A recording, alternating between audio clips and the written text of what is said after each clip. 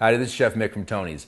We're using cherries today. We're going to make a really nice salsa to serve with meats or fish or whatever you like here. I've started by pitting and chopping some cherries. I've got a couple of cups here. I'm going to add some lemon juice, some lemon zest, a little bit of onion, as much as you want. Onion is optional, of course.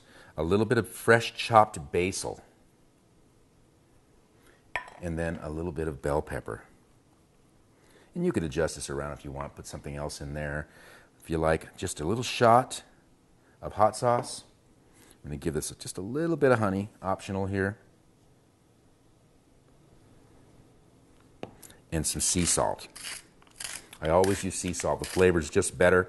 It's, it looks like you're putting a lot in there, but it's not as salty. So this will mix up.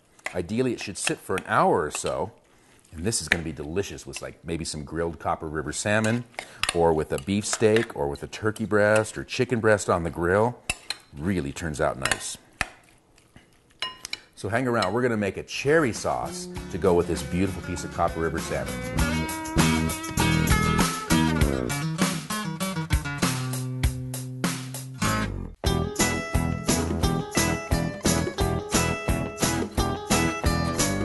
Hi, this is Chef Mick from Tony's Market. Today we're going to take some really nice cherries. We're going to make it into a sauce that we could serve with fish or beef or pork or chicken. I'm going to start here with pitted cherries. I've got three cups of pitted cherries. They're going to go into the pot.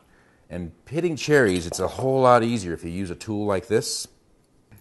This is great. What you do is take the stem out. I push it right from the top down to the bottom.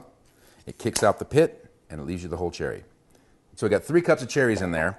And then I'm going to add to it a little bit of green bell pepper a little bit of garlic, a little bit of crushed red pepper, and onion, a little bit of lemon juice, a couple tablespoons worth, and the zest from that same lemon.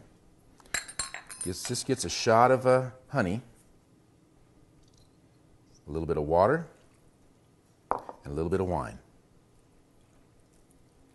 So we're going to put this on to simmer, let it cook 20, 30 minutes till it marries into a sauce, and in the meantime, we're going to go make some nice salmon.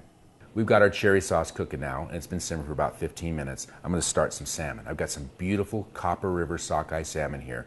What we're going to do is get a nice pair of needle nose pliers and wash them up real good, and you can just pull those bones out one at a time if you like.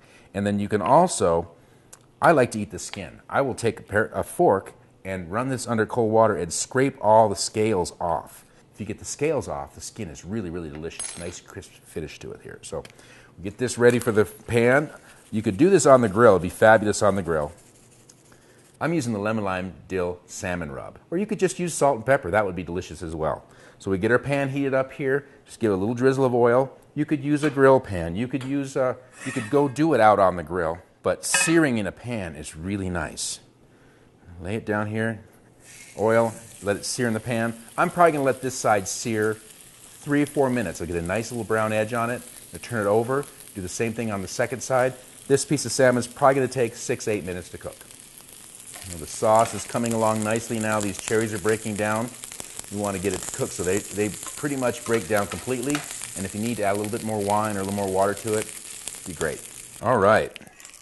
So the salmon is looking just about done. Looks a little bit of pink in the middle there, just, just the way I like it.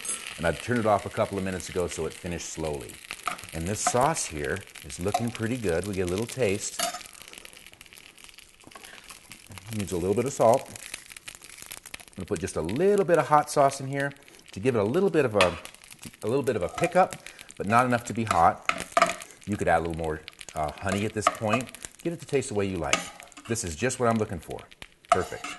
Let's bring in our plate. I got some nice lettuce and radishes out of the garden. Oh, they turned out so nice. Take our piece of salmon, add it to our plate. I'm going to sauce it. A little bit of cherry sauce. Oh, perfect. We've got Copper River salmon with a nice cherry sauce. You can get this recipe and all the recipes today at digincolorado.com. Let's dig in.